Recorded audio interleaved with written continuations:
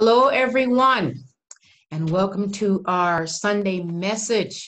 We hope that you are enjoying this wonderful day that the Lord has given us. And we are going to return again back to the book of James, the first chapter. And we're going to be looking at verses, I believe, verses 18 through 20. Amen. So just go grab your Bible or your iPhone or iPad, and we're going to sit down and discuss God's word. So I'm going to read our first verses here. So James chapter 1, verses 18 through 20. And it reads as thus Of his own will begat he us with the word of truth, that we should be a kind of first fruit of his creatures. Wherefore, my beloved brethren, let every man be swift to hear, slow to speak, and slow to wrath.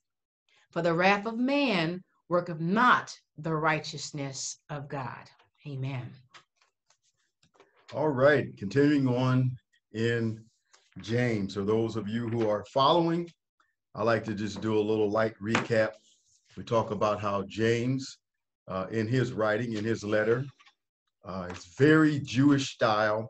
He's writing to the 12 tribes that are scattered abroad in those days and he uses and borrows a lot of language and style from the uh, Sermon on the Mount, mm-hmm. uh, which is which is um, brother is half brother Jesus mm-hmm. preached the Sermon on the Mount, and so he borrows a lot of language. Where it's the Sermon on the Mount, the Beatitude talks about blessed yes. are the poor in yes. spirit, yes. blessed are the meek of the earth. Uh, blessed are those who are persecuted spirit. and all of those things. Mm-hmm. James borrows that same language. And so he talks about blessed is the man who endures temptations and trials of all types. Uh, but this is a little recap. It's sort of saying, with, but when a man is tempted and going through these various trials, he is not to say that he is tempted by God, because God does not tempt anyone with evil, neither is God tempted with evil. Uh, but also, he says that we just lay the blame uh, of our temptations or entering into temptations on ourselves. On ourselves. Mm-hmm, mm-hmm. He says, but every man in verse 14, every man is tempted when he is drawn away of his own lust or his own desires and enticed. And once he does that, once he's drawn away by his own desires and enticed, things are set in motion. Mm-hmm. Uh, and so it says, when it's set in motion, then verse 15, then one lust have conceived brings forth it brings forth sin. sin. Mm-hmm. And when sin is finished, it brings forth death.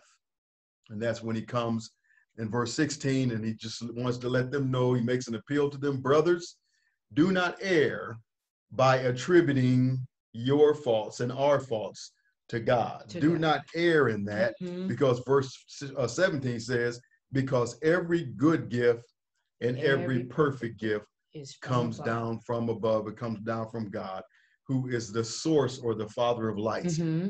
Everything good and everything pure and everything wonderful and everything holy and everything righteous comes from God. Amen. Uh, uh, so uh, He does not tempt us uh, to sin or do anything evil. And then that's when verse 18 comes as um, James is dealing with them as he goes on with his letter he says, verse 18, of his own will begat he us with the word of truth. Mm-hmm. So uh, we have our own will or desire. God also has his own will or desire. And so this is the, the point that he's making here. Let's look at that word uh, own, of his own will. His will, the word means to will, be disposed, mm-hmm. minded, intend. So it's our intention. So it's we're talking about God's intentions here. Uh, it means determined, or it means also desires. So what we're seeing here is is James making a contrast uh, between our will and God's will. Exactly. A man is drawn away into sin by his own desires. But James is saying that we are saved by God's own will or desire. And then also we learn in scripture that it is always God's desire or his will for mankind to be saved. He says it in First Timothy chapter 2, verse 3 through 4. It, you know, God, our Savior, will have all men saved and come unto the knowledge of the truth.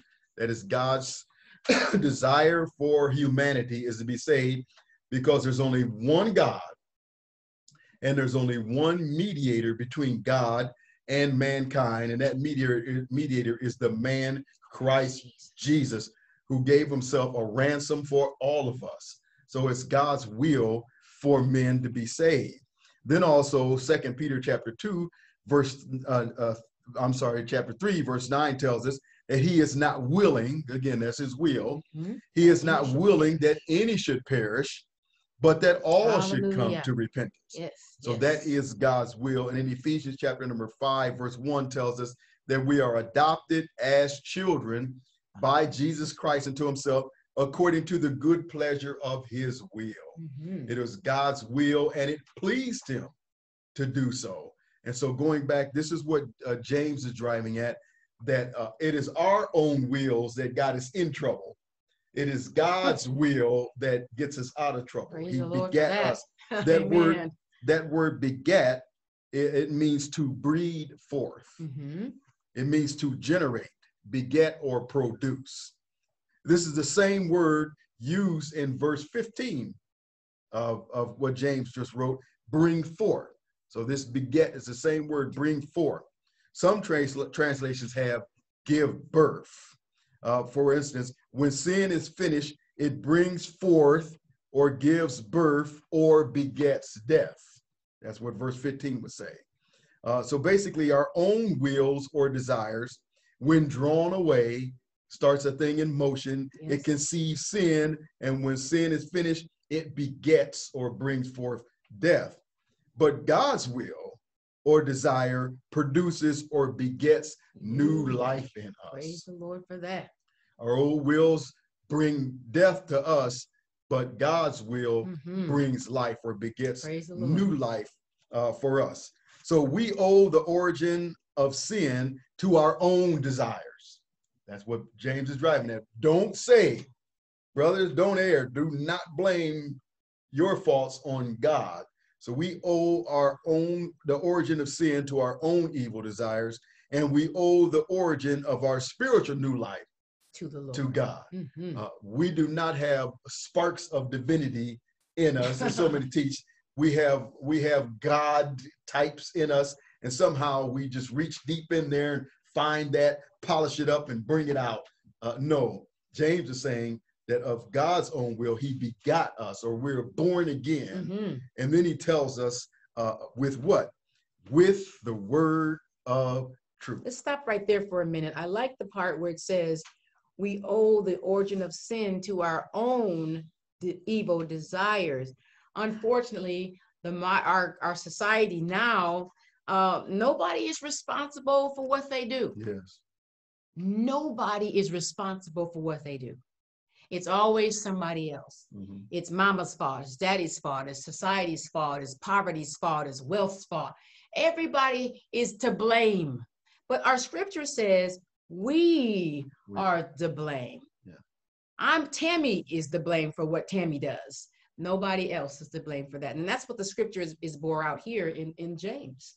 A man is drawn into drugs by his own desires a man is drawn into fornication or adultery by his own desires. Exactly. A man is drawn into homosexuality or drunkenness or, or alcohol what, or anything. Whatever a man is. is drawn away into lying, cheating, stealing, murdering by his own desires. He's drawn away. And so, yes, we can't say, well, I'm uh, God made me this way or I'm predisposed. I mean, we're all predisposed to yes, sin. Yes, we are. All of yes, us have a yes, predisposition to sin. But as we mentioned in past lessons, uh, thank God that we all don't crave everything. That wouldn't that be horrible? if, you, if you crave every that would be a train wreck oh, on two legs. It would be a miserable life. Oh my gosh. But the thing that that our heart does go after, it's bad. Uh, that's what draws us away. Yes, yes. But but thank God in our past lessons we talked about there are ways that we can deal with that through the grace of God. Thank you. We can mortify our members, that which means are to upon kill. earth. That means to kill that put flesh. it to death. Mm-hmm. Uh, we are to submit ourselves unto God mm-hmm. and mm-hmm. resist the devil, Run. and he'll flee. and then the scripture says, "Love not the world, neither the things that are in the world." A- And so we ought to fall in love with God and his Mm, word Hallelujah. so that we can love God more than we love the world. Mhm. Uh, and, and so that's what it is because we're all fallen creatures and and something in this life in this fallen world gets our attention and then when we give into that something that's what gets the ball rolling yes so that that's we owe the origin of sin to our own To evil desires Right. Uh, because if we had sparks of divinity in us Wouldn't we wouldn't be we wouldn't be drawn to some of the stuff that we're drawn to No, no, no. no. but thank God that we are begotten again by the word of truth, Thank you, Lord. what James tells us here. Yes, yes. The Holman translation has this by his own choice, by God's own choice. He gave us a new birth by the message of Praise the Lord. truth. Praise the Lord. Amen. By the word of truth. And as Jesus was standing before Pilate, and uh, Jesus let him know that he was truth, and Pilate was like, well, What is truth? Mhm. Well, you have many people in our day who ask that same question because there are so many belief systems out there, so many ideologies, so many isms, so many messages, so many voices. Uh, we hear people talk about uh, speak your truth and follow your truth. And so you have a truth and I have a truth and the other person has a truth. But no, the, here he says we're begotten by the word, excuse me, of truth. There's only one truth. Right. Now that may seem narrow to many Well, people, We're trying to be narrow-minded. but Jesus Yes. said that he was the way, the truth, and the life. Yes, yes. I didn't say that about Jesus.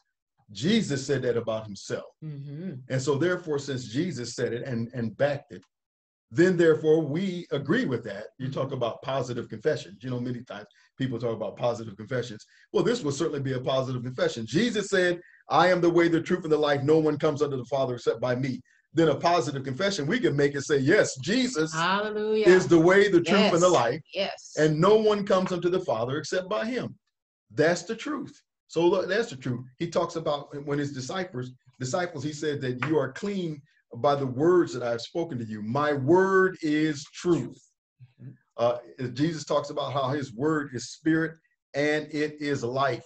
Uh, the scriptures talk about how the, the law came by Moses, but grace and truth comes by Jesus Christ. Ephesians chapter 4 also tells us that the truth is in Jesus. Amen. And so if we are begotten by the word of truth, there is only one truth, Amen. and that is the gospel of Jesus Christ. That is the death, burial, resurrection. It is the, the God made flesh and come to dwell among us and took our place on Calvary took our sins, took our punishment, and brought redemption, died in our place, tasted death for all men, Yes, was buried in the grave, and rose the third day, and he, he forever lives to make intercession for us. That is truth. There is no other truth outside No. that. Uh, Jesus didn't come uh, speaking the truth, he was truth personified. And so when James talks about uh, that we are begot, that he begot us of his own will, and he begot us with the word of truth. Because of God's own will or desire, we are begotten or born again by the word of truth. Now, Peter tells us the same thing in his letter when he was writing to also the scattered abroad. Uh, uh, First Peter chapter one, verse number three. Blessed be the God and Father of our Lord Jesus Christ, which according to his abundant mercy have begotten us again unto a lively hope by the resurrection of Jesus Christ from the dead. All right, so we are begotten Amen. Hallelujah. unto a living hope. Mhm. How are we begotten? By the resurrection Resurrection. of Jesus Christ. Mhm. If there From the no dead. eh, from the dead, if there's Mhm. no resurrection of Jesus, there is no begotten of us. And then also look at verse 23 because you put verse 3 and 23 together, you see we are begotten by the resurrection of Jesus Christ. And then it shows that we are born again by the word of God. Okay, being born again, not of corruptible seed, but of incorruptible, Mhm. by the word of God, which lives and abides forever. Hallelujah. We are born again. We are begotten Thank you, Jesus. by the resurrection of Jesus Christ. We are born again by God. the word of God. Mhm. This the same word that Jesus said in John chapter 11 that he was the resurrection and the life. Mhm. When he went to Lazarus' grave, Lazarus had Oh, been yes. bound and dead for four days. And they even told him, Don't you know he stinks by now? yeah. No problem with Jesus. He goes in and by his word, he says, Lazarus comes forth, Mhm. and he raised Lazarus from the dead. That same word, the word of truth, raises us from the dead spiritually. We go from death to life. Thank you, Jesus. We go from darkness to light Mhm. by the word of God. And so we see here that this is what James is talking about. We are begotten, or in other words, born again by the word of truth. And then he did it for a reason yeah. that we should be a kind of first fruits of his creatures. Of course, that creatures means creation. Mhm. Uh, the first fruits of his of all of his creations. Uh, James is mentioning the, the first fruit. Now, this phrase is used often by the Apostle Paul. It's used once uh, to talk about a fellow by the name of uh, Epanetus. Epanetus, that's found in Romans chapter number 16, verse number 5. Likewise, greet the church that is in their house. Salute my well beloved Epaphroditus, who is the first fruit of Achaia unto Christ. He's the first fruits of Achaia unto Christ. Mhm. Some translations, modern translations, say he was the first convert. So that would All be right. again an example of the first fruit. Thank you, Lord. He said that also about the house of Stephanas in Corinth, 1 Corinthians 16, verse number 15. 16, verse 15. Okay. Give me a moment. I thought I had it. It says, I beseech you, brethren, ye know the house of Stephanas, that it is the first fruits of Achaia, and that they have addicted themselves to the ministry of the saints. Do I have the right one? Uh, yeah, first fruits of Achaia. Okay. Stephanas, the house of Stephanas. Okay.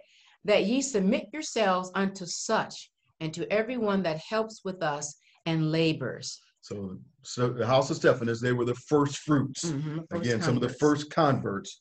Uh, Paul founded the Corinthian church Mhm. uh, in Acts chapter number 18. If you want to go and look up that background, no, I mean you, but I mean Oh, oh. the watching, viewing audience, okay. uh, just to make a connection, the, the, the church of Corinth was founded by the apostle Paul. And you can read about that Acts chapter number 18, make them do a little homework, Yes, of course. put things together. Always homework. And then also, Paul uses this phrase also in First Corinthians chapter 15, verse 20, and then verse 23, talking about the fact that Jesus is the first fruits of those raised from the dead. Yes. But now is Christ risen from the dead and become the first fruits of them that slept. Verse 23. So now is Christ. Christ is risen from the dead, and he is the first fruits of them that slept. All of those who have died and gone to the grave.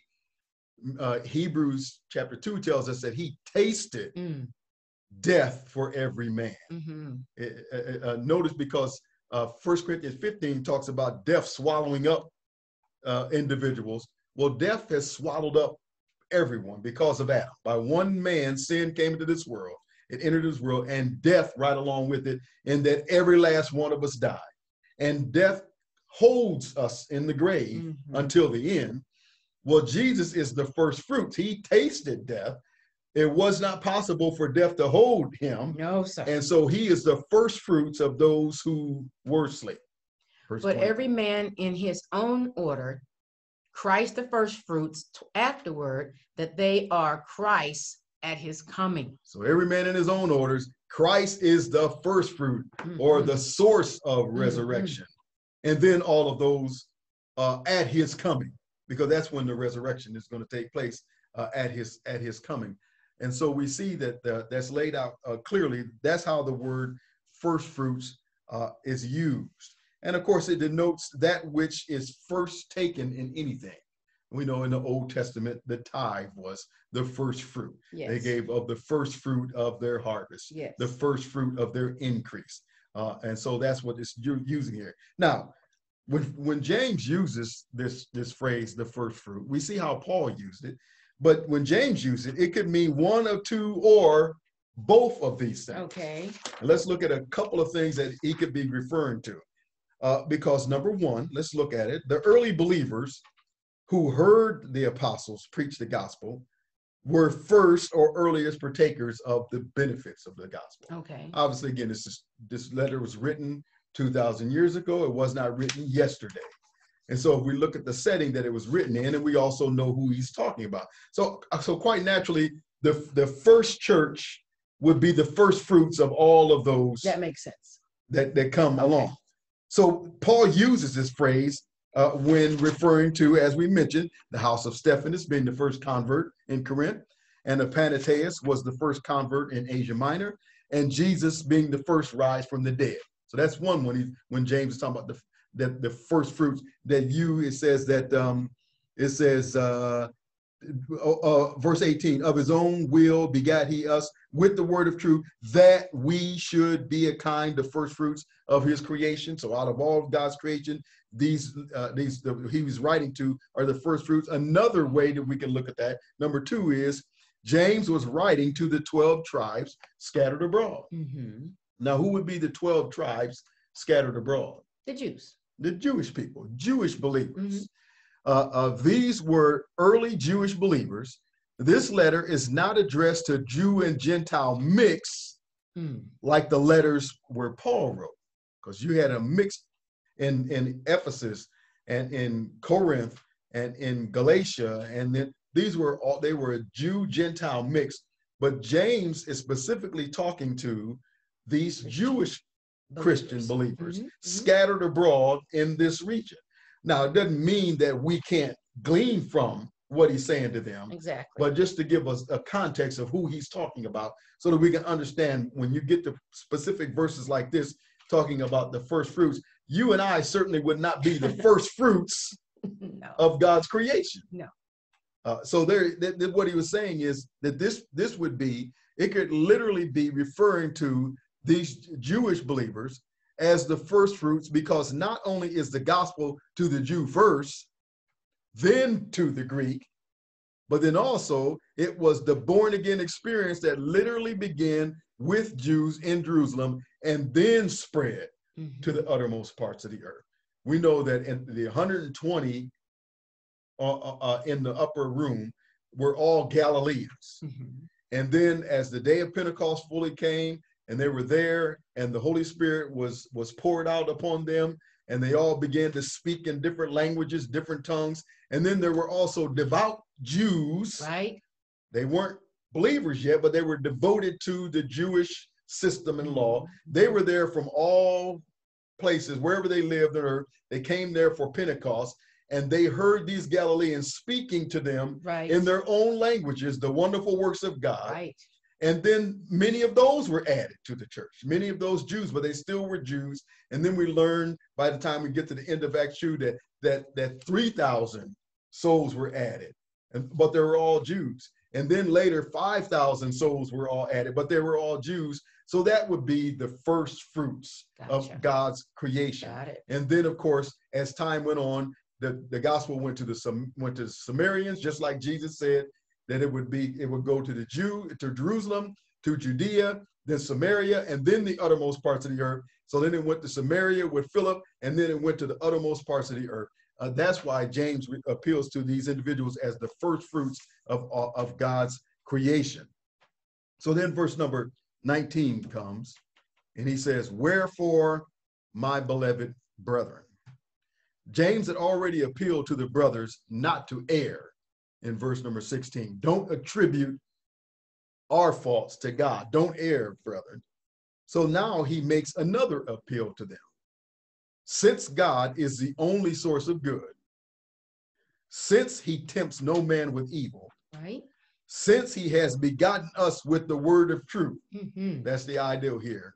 Since he has done that, now let every man be swift to hear. Because all throughout scripture, God always has to do the work in us first, Mhm. and then he makes requirements. Mhm. Many of the letters are laid out that way. Ephesians uh, uh, is a good example. Ephesians has six chapters. The first three chapters are all theological Right. what God has done in Christ Jesus. Mhm. And then the last three chapters are all practical.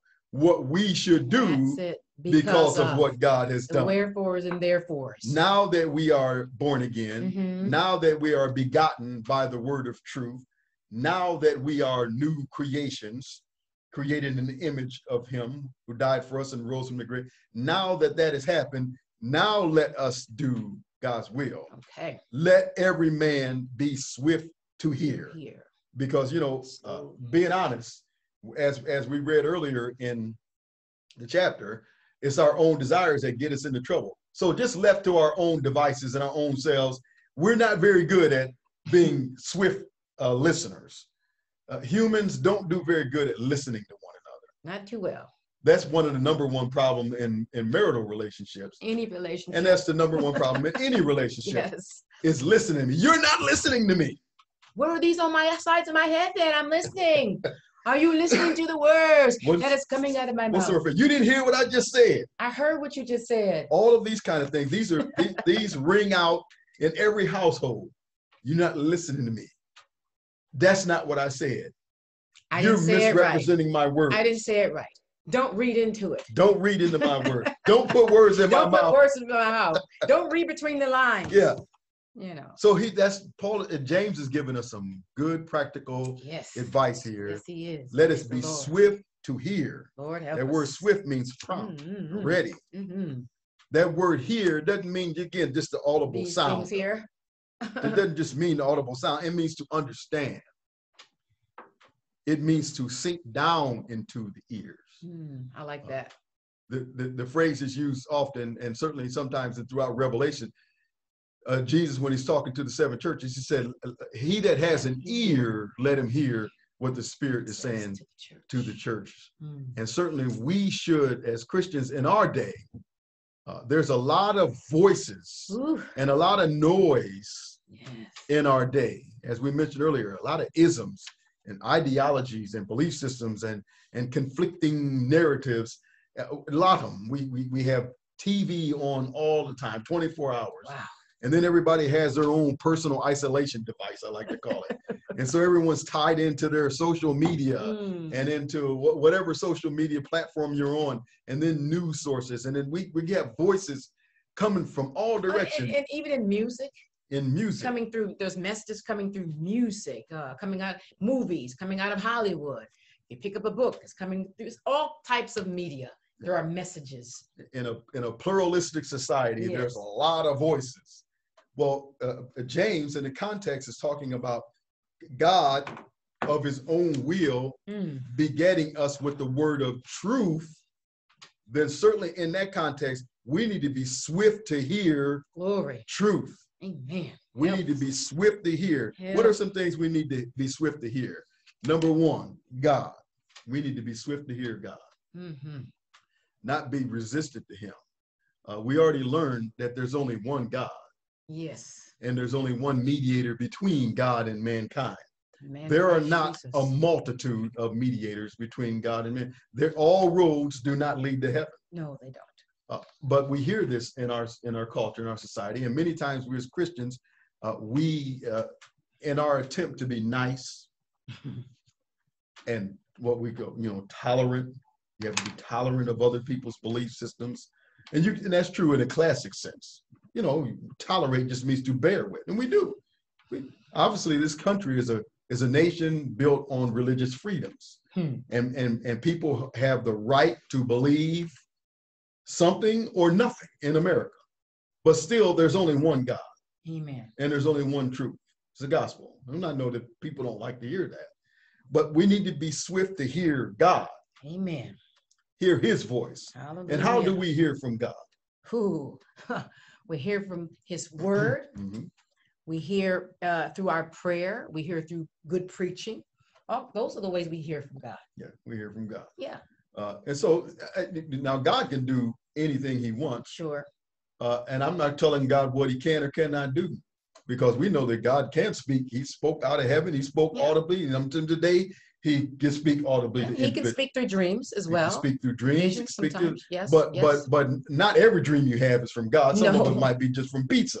But unfortunately, in our Right. church world, every dream that a person has, and it's like, no, No. not necessarily. And then there's some people who say, no, God doesn't speak audibly at all. Well, no, you can't say that either. Sure.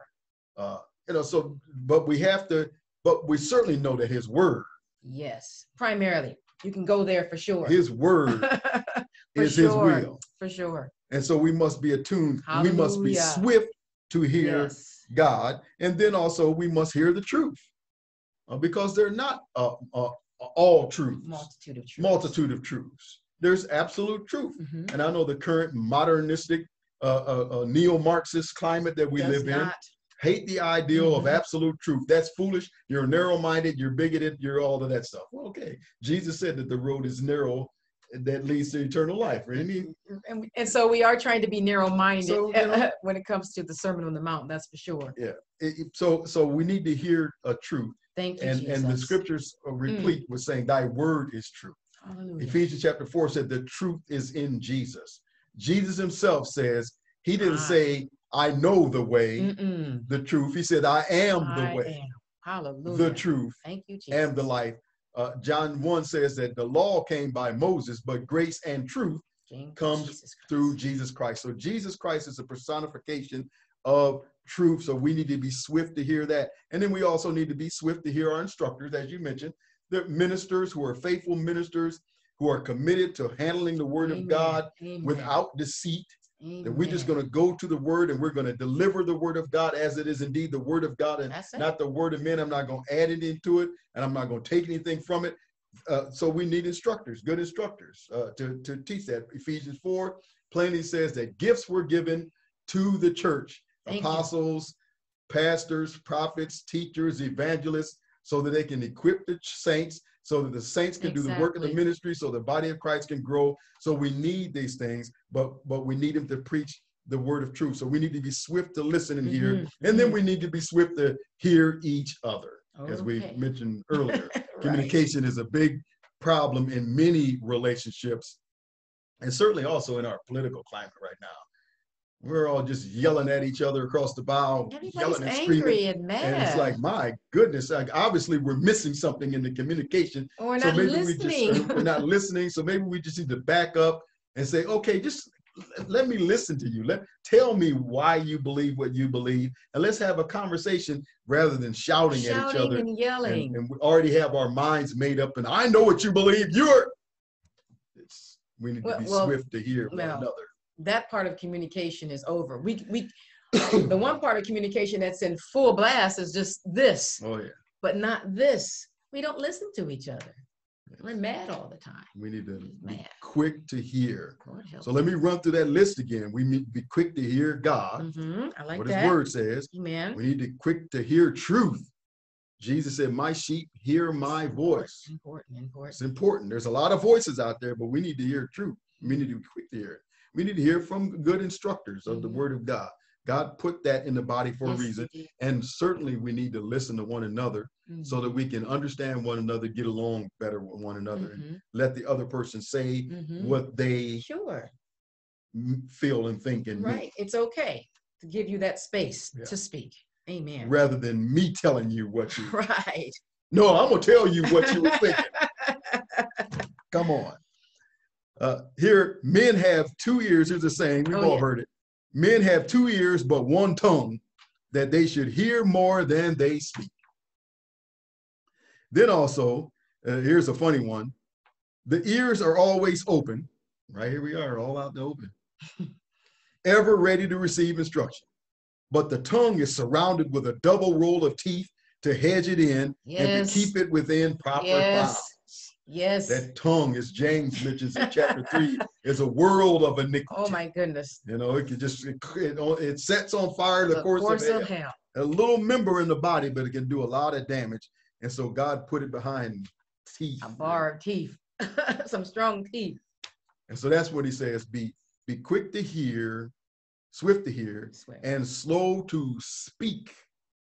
Uh, be slow at speaking, always popping off. Those who are hasty in their speech are often of an angry disposition. Um, let me back you up. I hate to keep backing you up, but. I wanted to make a comment on oh yes, why do you think believers can be uh, guilty of being dull in their hearing at times. Sometimes that is true. Not sharp, not picking it up, but but kind of dull. What do you think some of the reasons? I'm sure there are other reasons. There are a lot of reasons. Yeah, but what there's always. but what do you think would be a reason? One reason. Well, there's many reasons for sure with anything, but I, it, something comes to mind. Hebrews chapter number five. If you would go to Hebrews chapter number five, um, Hebrews chapter. because I because I mentioned also there are so many voices out there, so many voices, Hebrews five. and as Christians, uh, uh, Hebrews five near the end of the chapter, uh, 26 and 27, I think, or something like that. You'll see it. Oh, okay. Go to 12 okay. and open up 12 and we'll see what. Yep, perfect. Uh, because we talked about how there's so many different voices out there. And if we don't know this voice, the word of God, Jesus said my sheep hear my voice. Mm, If we don't know this voice, we'll listen to the others. And Hmm. even when we come to church and we'll sit there and we'll say, well, I went to church and I heard the word of God, but we, we usually wind up believing something more than in his word. his word. Mm. look, look and see what Hebrews 5 12. Five twelve says, For when, for when, for when, for the time ye ought to be teachers, you have need that one teach you again, which be the first principles of the oracles of God. So here they the, the Hebrew believers have been around for a long time, and, and the writer is writing to them saying, By now you should have been teachers, Mhm. but you have need that someone teaches you the fundamentals of the word of God. Go ahead. And are become such as have need of milk and not of strong meat. Keep going. Mhm. For everyone that uses milk is unskillful in the word of righteousness, for he is a babe. But strong meat belongs to them that are of full age, even those who have by reason of use have their senses exercised. I like that to discern both good and evil. The uh, mature Christians, mature believers, Mm. uh, are, are those who, by reason of use of the word of God and life experience, Good, good. good. have their exercises or their senses exercised so that they can discern between good and Mm, evil. mm, mm, Uh, but if you don't do mm, that, mm, if mm. your senses are not exercised Oh, in the word Lord. of God, Oh, my Lord. then sometimes we're we're dull dull. to Yes. even if we go to church uh, Regularly. every Sunday regularly, Sure, sure. and we're not really hearing, like the scripture says, he that has ears, let him hear. Let him contemplate, think about, let it sink down, let meditate o- on what the Spirit is saying to the church. But along with that comes discernment. Mhm. You know, along with hearing and reading, you put those two together, it gives you better discernment. And I think that's what's missing too. You don't know that the danger is coming. You don't know that the danger is in your house. You don't know that, that you're sitting in the seat of the scornful. You don't even know you're doing that Right. because you're not uh, exercised as as um, the book of Hebrews is saying. Yeah. We're not exercised in it. And unfortunately, many, many times discernment is taught as if it's a feeling. No, no, no, I no. felt something about that person. I felt, no, the From Hebrews is telling us by having our, our senses exercised in the word of God, then we can discern. And then also First Corinthians chapter 12 talks about how discernment is part of the gifts of the Spirit. Mhm, Sure. So it's, it doesn't come from a feeling. Mm-mm. It's what the Holy Spirit and, and exercise coupled with the word of God, then we can discern or distinguish and, uh, and discriminate between good and evil. We know what's right so and wrong today. based on what the word of God says, not based on how I feel about Yes, a yes, situation. Yes, yes, and, yes. and and so that's unfortunately uh, that's why people are not swift to hear Hmm. uh, sometimes and so that's when uh, going back to james very good question going back to james that's when he says so we need to be swift to hear and slow to speak two ears one mouth that word uh, because it, it- usually that, that this the harsh and rash speaker gives itself lends to uh, uh, anger and anger dis- disposition. So he said, "Be slow to wrath." Oh, true. Oh, boy. So let's let's look at this. Be swift to hear, slow to speak, slow to wrath. This is all good, sound, Oh, instructional Lord. Advice, practical instructional advice. The word wrath is orge. It means desire. It means violent passion, abhorrence, indignation, vengeance. It's very strong words. Uh, the Bible talks about anger. Anger would be uh, one of the things that that a person is drawn away by by their own desires. I talked before about when when I was younger, growing up as a as a kid and as a young man, I had an anger problem. You know, a lot of people who meet me today, oh, I, I, I can't see that. I'm like, well, it's not for you to see. I'm telling you, I knew what I grew God up is with. much better. Yeah, I mean, if I if I'm 59 years old now and I still had the same anger issue Mm. that I had then, then there's no growth in Christ. Uh, but but my point is, anger. I was drawn away. I wasn't usually a person who just started stuff because I'm quiet by nature, you know, laid back. So I didn't start it. Uh, But sometimes when somebody would egg me on and keep egging me, and then finally I would hold it and hold it, and then it would blow up and it'd be volcano. and then I'd be mad for a couple of weeks, you know. But still, it's anger, whether you do it soon or whether it's smoldering or whether whatever it is, it's a temptation in my flesh. It's, Mhm. all of us are hit by something when we come to this world. When we're born in sin and shaped in iniquity, we come into this world something. with something. And so there are some things that draw you away into anger and cause you, and then if that anger is nurtured and held onto, it can grow into wrath. And that's what James is saying be slow to wrath. Uh, uh, because a lot of times people don't really look at anger as all that bad, you know, because it's part of your human nature. So we use it, you know, we use it to, if somebody's getting on my nerves, I want to get you away from me. you blow up. Yeah. If I'm not getting my way, then I'll start making demands. I get angry. People get nervous and start, uh, uh, you know, complying to. So it's used, and they don't really see it as as bad as murder. But Jesus plainly tells us that anger is what leads to murder. Yes. Uh, then, then you, Ephesians chapter four tells us, "Be angry, but don't sin." right? And then he says, "Don't let the sun go down upon your wrath." Mhm. If we hold on to anger, that's when it develops into wrath. Absolutely. And when wrath develops, it can absolutely do no good.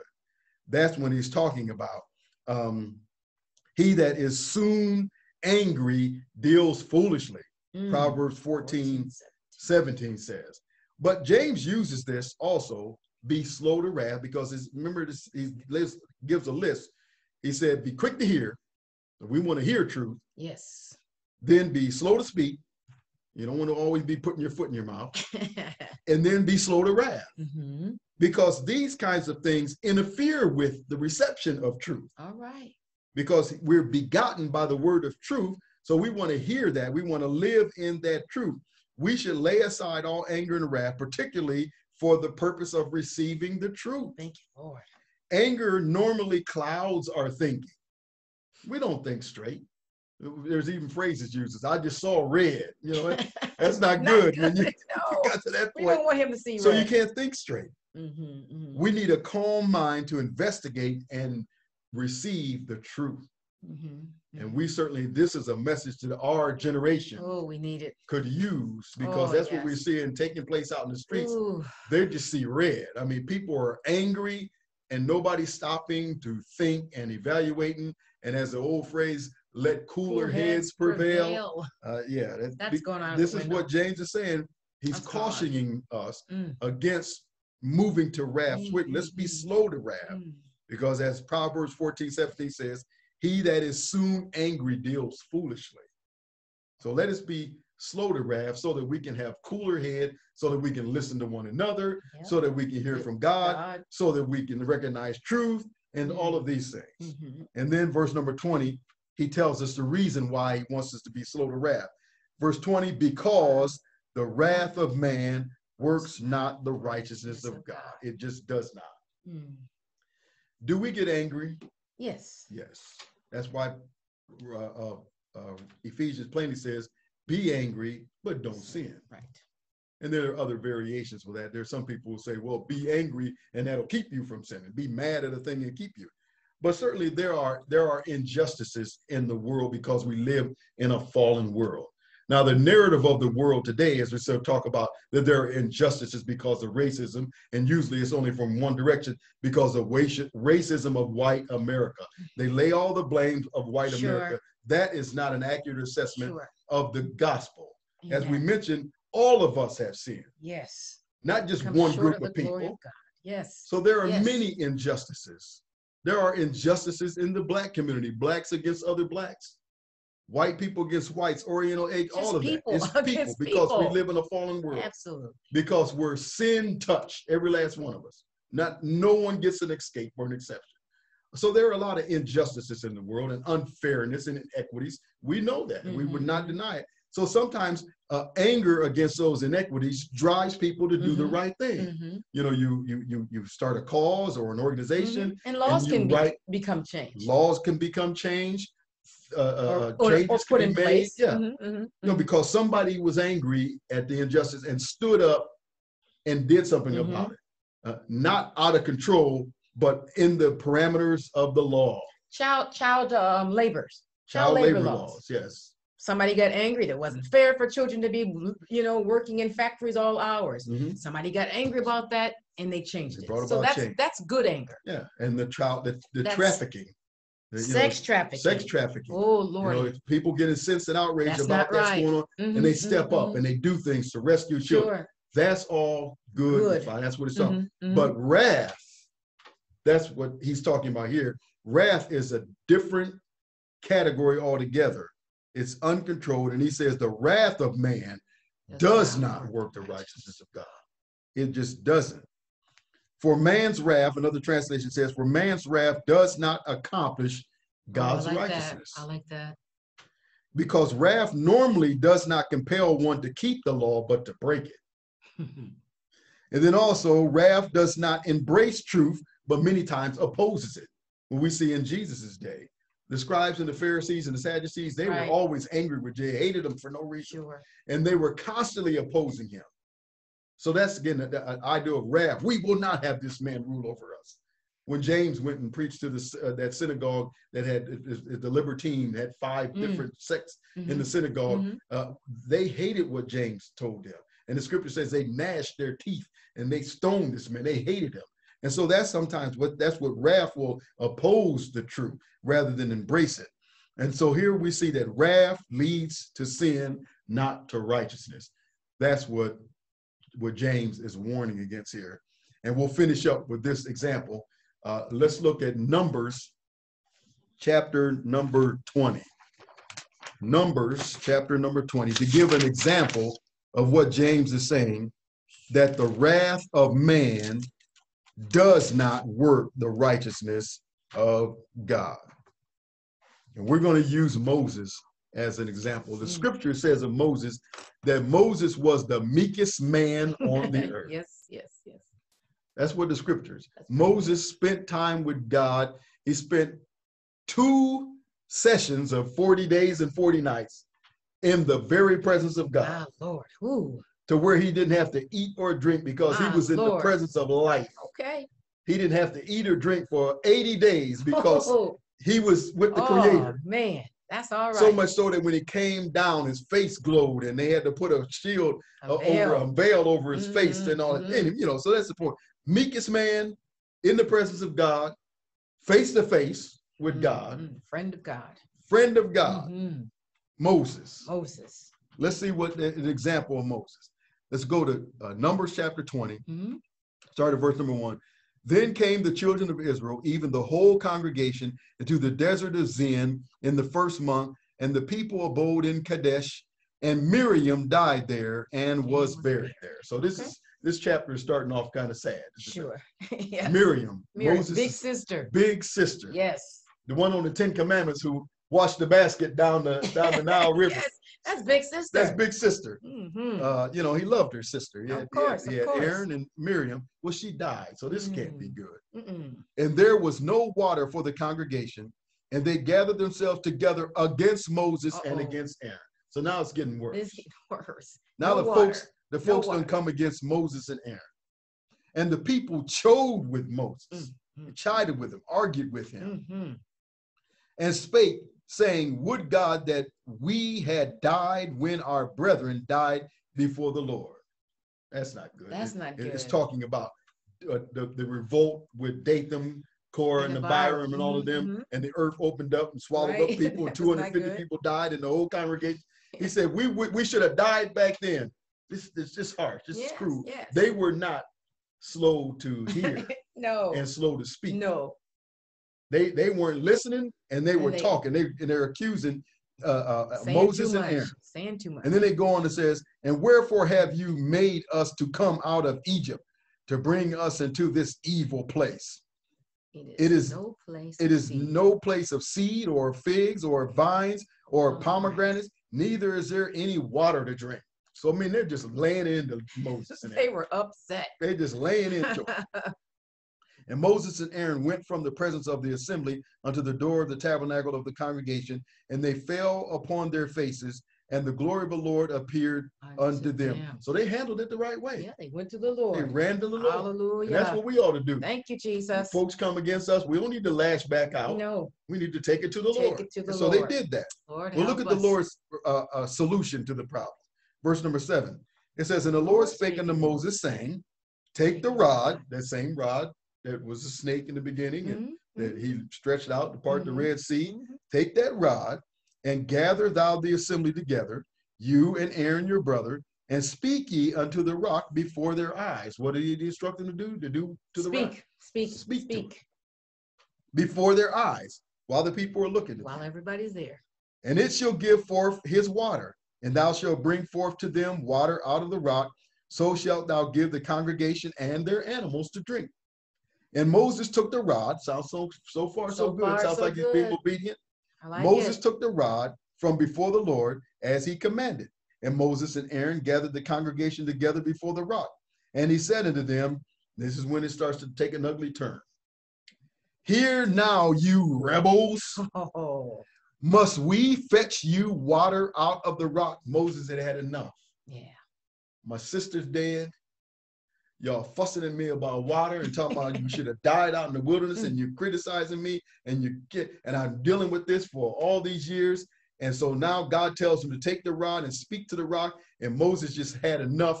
You know how it is sometimes. Enough's You know that the Lord tells you to do something, but then you just, I, you know, there's my chance. So he got the rod and he says, Hear ye rebels, Right. shall we? Now, wait a minute, what's this we? Shall we fetch you water out of the rock? And Moses lifted up his hand and Uh-oh. with his rod, he smote the rock twice. Oh, He was, he, man, Moses was fuming. he had it. And the water came out abundantly, and the congregation drank, and their animals also. And the Mm. Lord spake unto Moses Uh-oh. and Aaron, and this is what he said. Because you believe me not. What do you mean, Lord? I didn't believe you. I got I gathered the people, I took the rod. I took the rod. Wasn't there a whole lot of water gushing out? What do you mean I didn't believe you? No, he said, because you did not believe me Here it is. to sanctify me in the eyes of the children of Israel. My Lord. Therefore, you shall not bring this congregation into the land Ooh, which I gave unto them. Mm-mm-mm. The wrath of man does not work the righteousness of God. No. No. Moses became so angry that he he was not allowed to go into the land that promised that, that the Lord promised Abraham and his descendants. And it's it's sort of sad. Sometimes, you know, as a human, you're reading it and you're like, wow, God, you could have cut him some slack. That's how we are as humans. I know when I first All read that- that as a young person, I went, "Oh wow, Moses done did all that for the Lord, and he made one little mistake." But I understand it now. I know. yeah.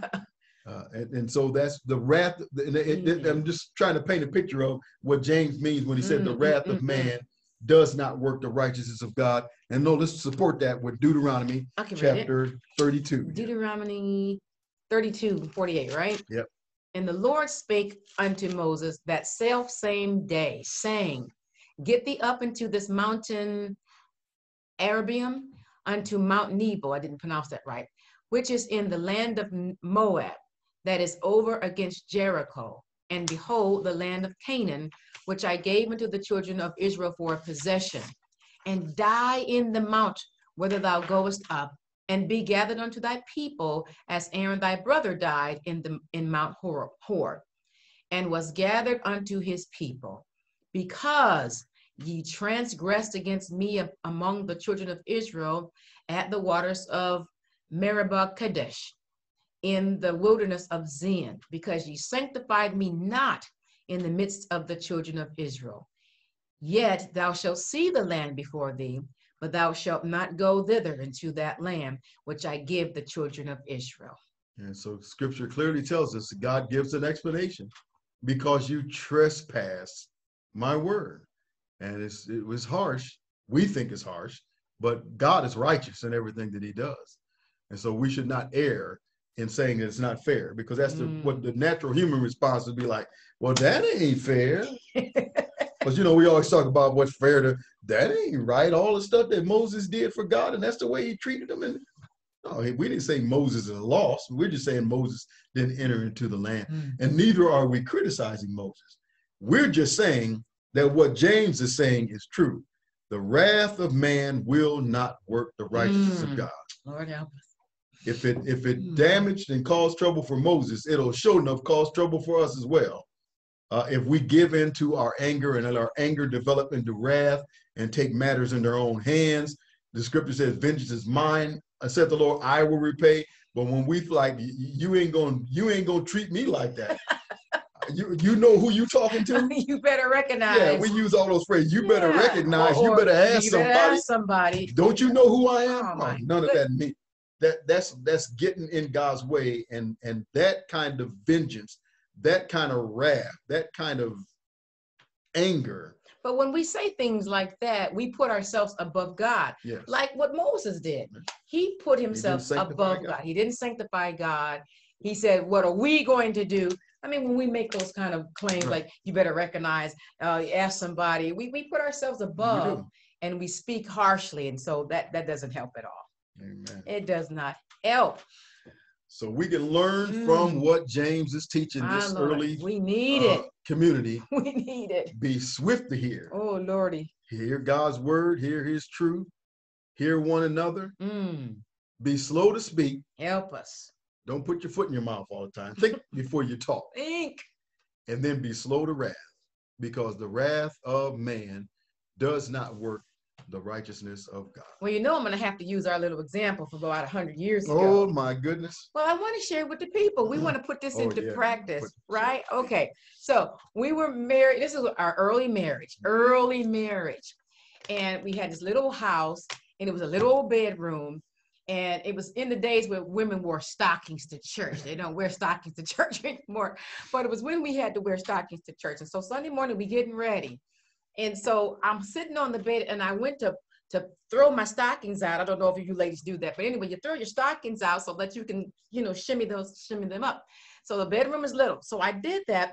My husband went into the closet you know, the bedroom closet. I, I, was trying to get my shoes. He was trying to get his shoes out of the closet. You know, sometimes the bottom of the um the, the closet doors can be kind of rough. So here, here's my stockings.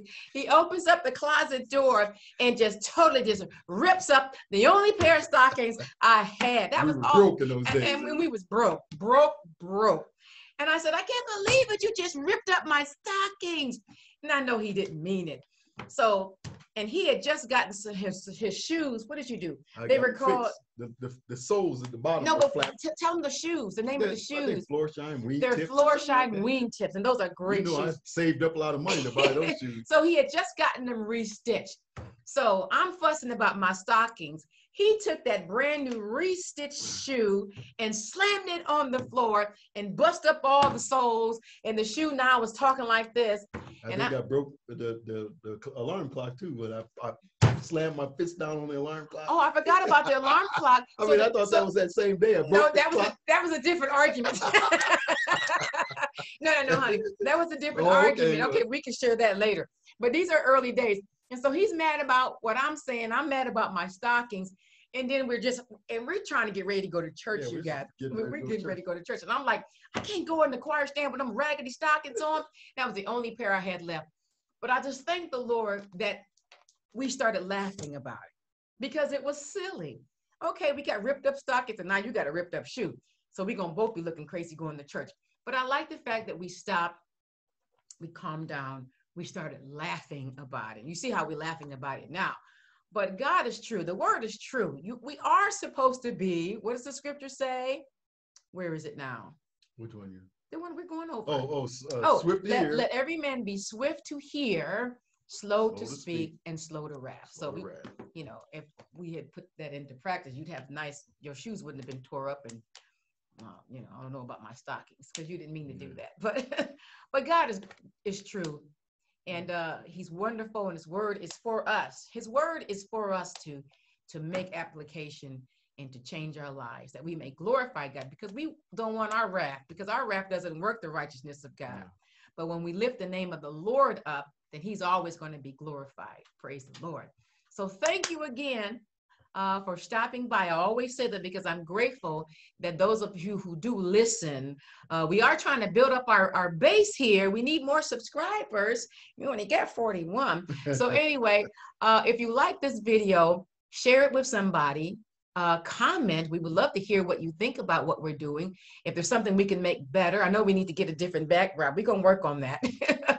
but if you like what you're hearing, then go ahead and subscribe to the channel, comment, like, uh, and share because the word of God should be shared. And so again, any last words? I'm finished. All right. I've said enough. You've said enough. Okay. Uh, thank you again and have a blessed day for the rest of your day. Amen. Thank you for stopping by. Amen.